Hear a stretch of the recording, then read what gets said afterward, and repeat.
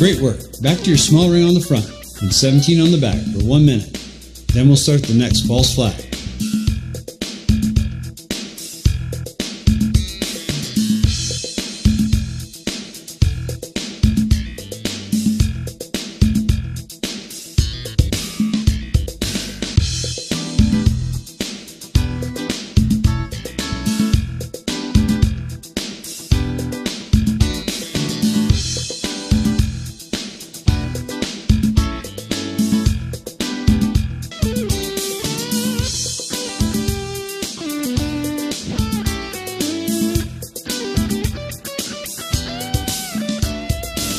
Come on, keep it going. Keep it going. Let's go. Let's go. All right, sit back down.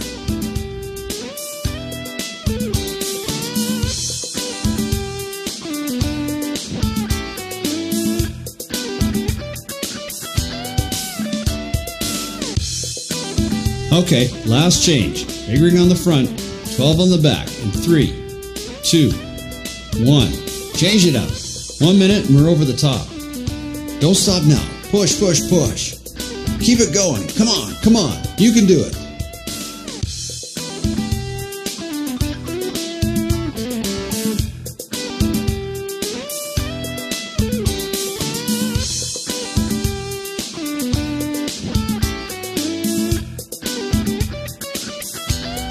There it is. There's the top and the aid station. 30 seconds. Last push. Come on, you can do it. Go, go, go. Come on, stand up. Let's go, let's go. Okay, sit back down, change down to your small ring on the front and 15 on the back. Way to go, great effort. Spin easy for the next three minutes.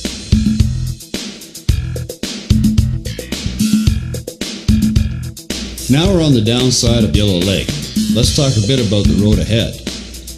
You'll hear a lot of people tell you that it's downhill from here to the finish in Penticton. That is not actually fact.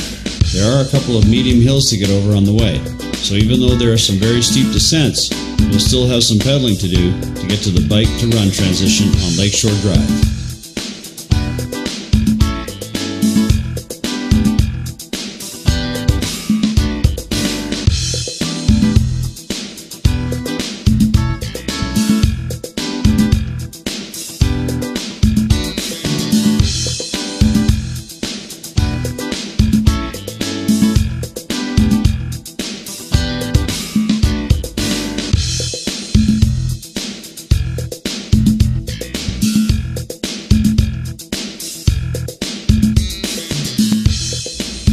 Now we're going to take you down the backside of Yellow Lakes, then turn right onto Highway 97 for the run into Penticton. Then the final stretch back down Main Street to the bike run transition on Okanagan Lake.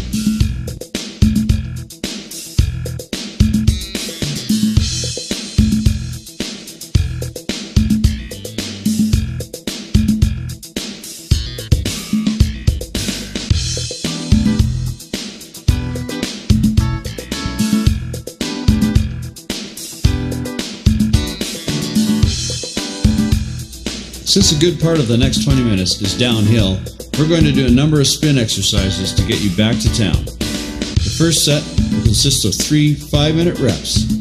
These will be in small ring and a gearing of your choice. We are trying to achieve a cadence of over 90 RPM, so if the gear you choose is too big, back down the cog set until your cadence is up over 90.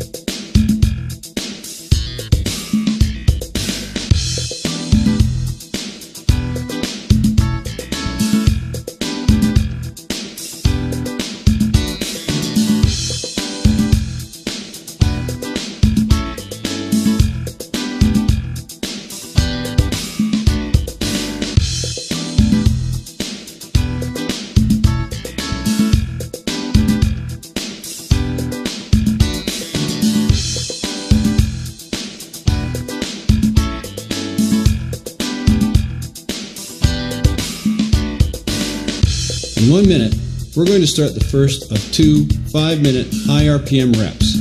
Small ring on the front and a gearing of your choice that is going to achieve a high spin on the back.